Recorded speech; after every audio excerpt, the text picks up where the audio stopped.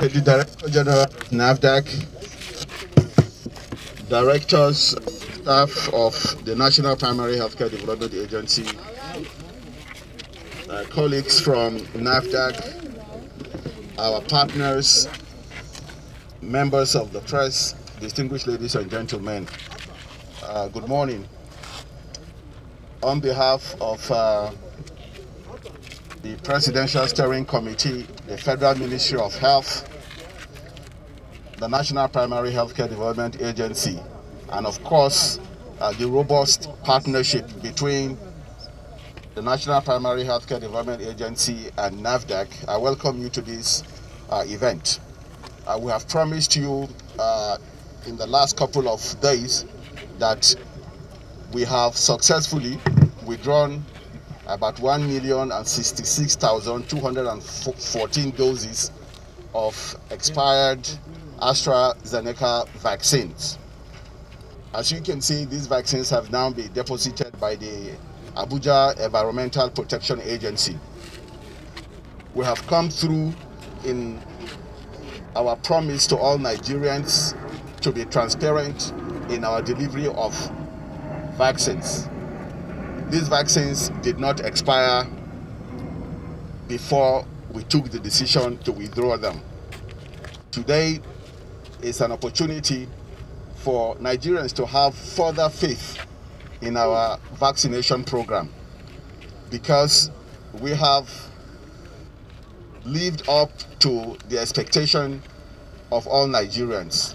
We had the option, if we were to take the advice of some experts, to try and use these vaccines even beyond the labeled expiry date.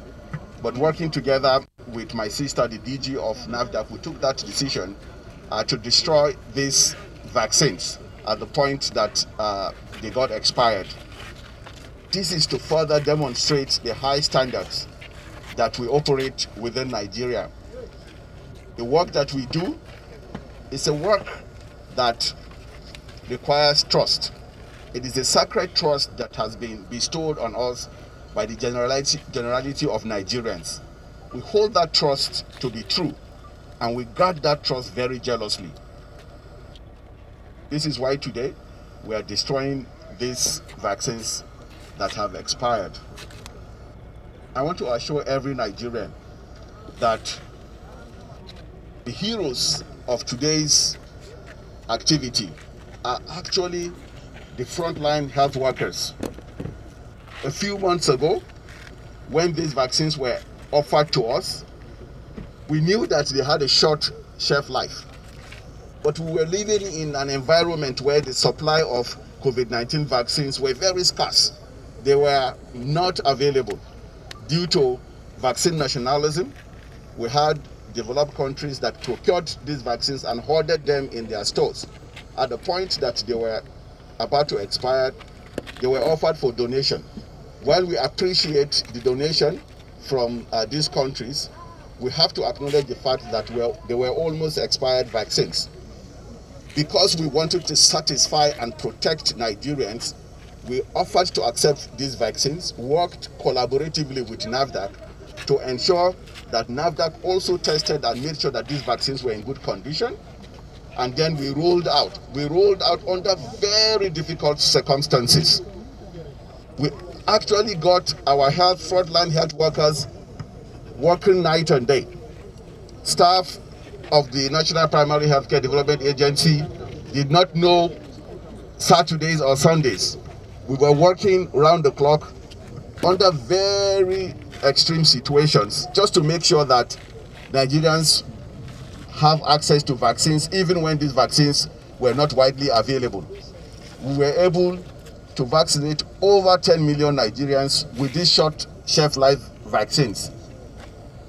If we were to wait until much later when vaccines will be widely available, maybe we will not have gotten any Nigerian vaccinated by now.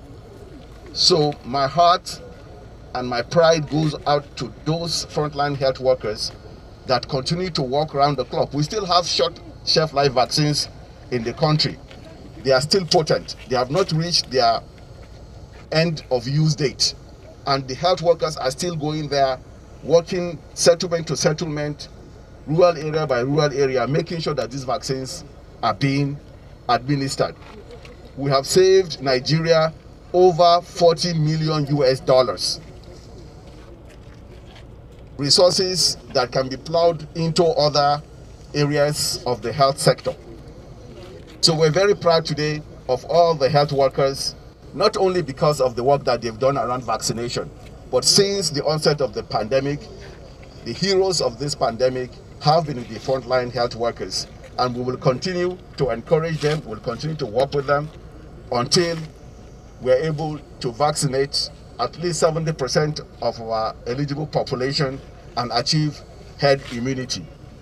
We guarantee Nigerians that these vaccines that we use are safe, they are effective, they can protect Nigerians against severe form of COVID-19 and also protect against death from COVID-19.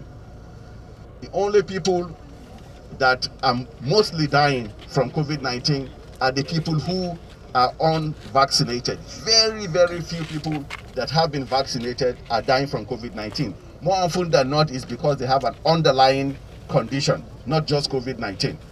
There is more than ample evidence to indicate that once you get the vaccine, you will get protected from COVID-19. When we started out before uh, March, there were a lot of conspiracies about these vaccines. Day after day, week after week, we have been able to prove that these conspiracy theories are exactly what they are. Conspiracy theories that have no basis, that only work on the fears and indecisions of Nigerians. Now that we have over 10 million Nigerians that have been vaccinated, there is ample evidence that these vaccines do not cause you to die immediately after you take them. These vaccines don't make you magnetic. These vaccines don't make you become uh, a robot. These vaccines don't do all of the crazy things that they say happens to you because you've taken the vaccines. There are a lot of women who have taken the vaccine while pregnant and their children have come out very well.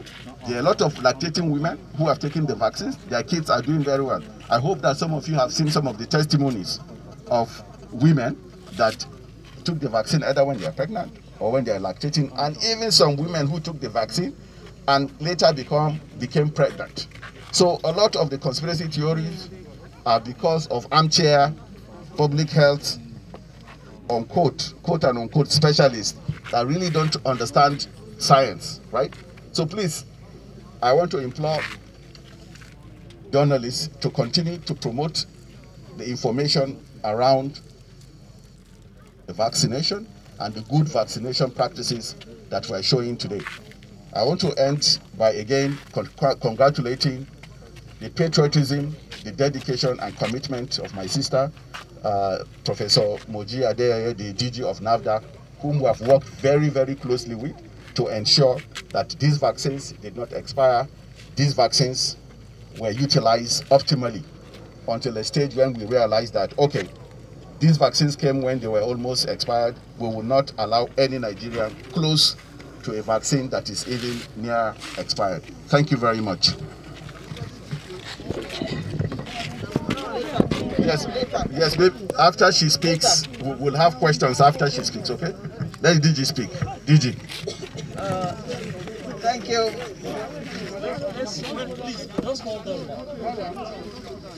Yeah, let's do the let's do the hand. Gentlemen of the press, uh, I say thank you again for coming to witness what is happening now, especially this environment. Uh, Nigeria is a unique country in terms of immunization. To have the regulatory agency and primary health working hand in hand since September of last year, planning for when the vaccines will arrive. It is only Nigeria that had that type of setting.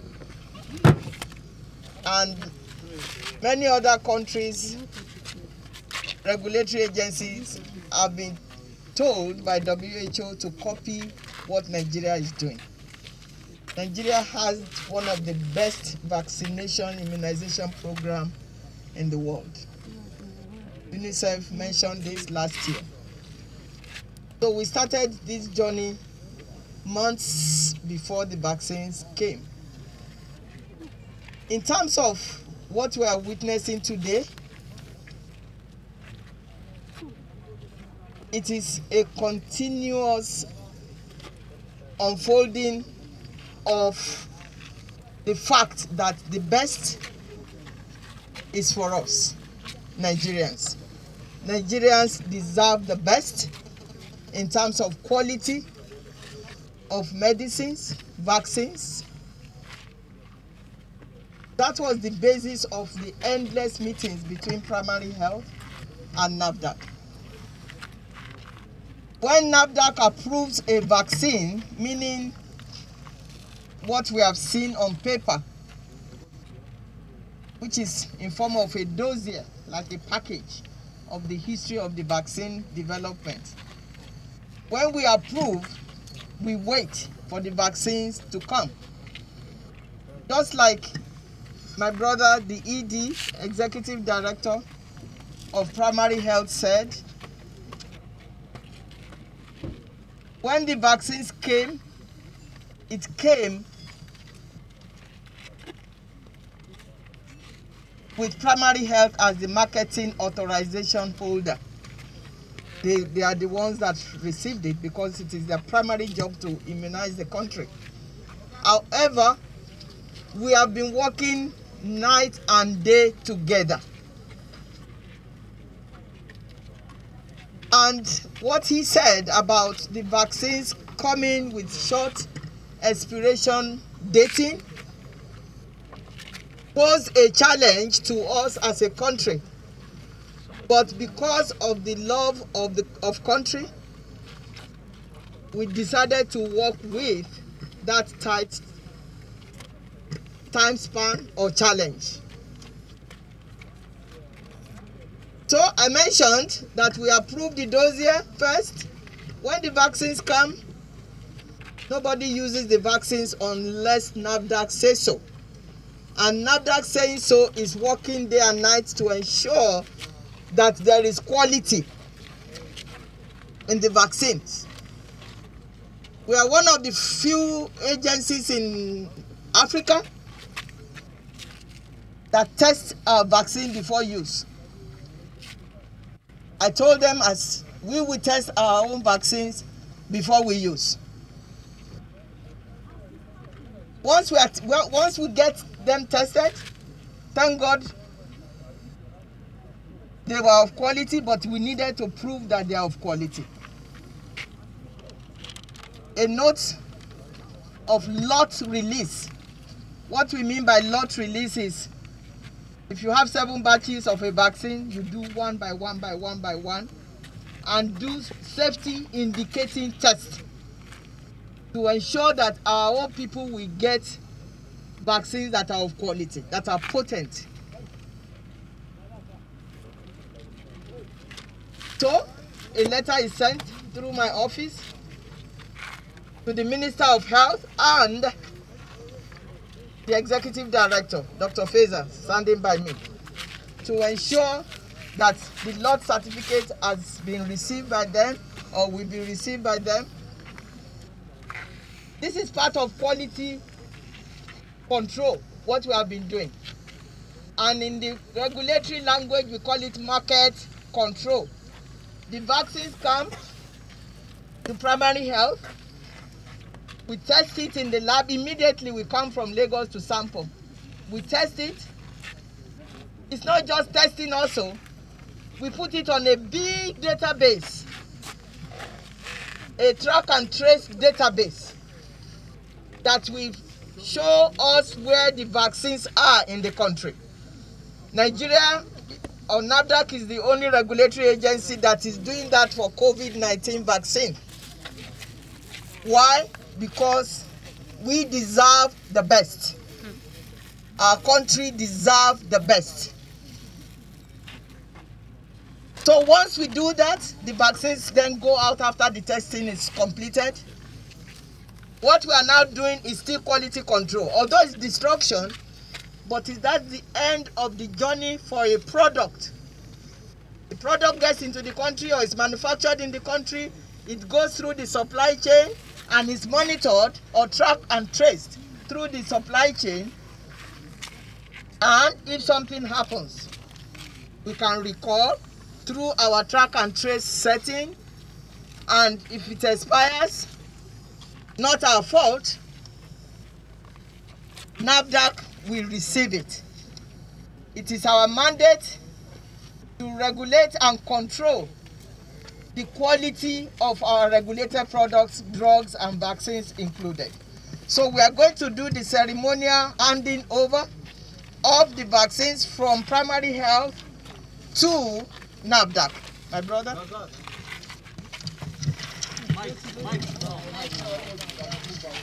So th this is uh, the over ceremony that NAFDAC is re receiving the 1 million plus doses of vaccines and now NAFDAC will destroy it in collaboration with primary health. I want to thank all our staff, primary health and NAFDAC, that have worked round the clock. People may not know how much time we spend on vaccines. I want to thank Mrs. Dara Dara. Yes. Uh. So many of them out of our regulatory control. Thank you so much and God bless. Oh, Yeah. From NAFDAC, that those are just representatives. There are tens and tens of our staff. And of course, my brother, Dr. Faisal, for what we are. Thank you very much. This is end of the journey for these vaccines that were manufactured about seven months or eight months ago.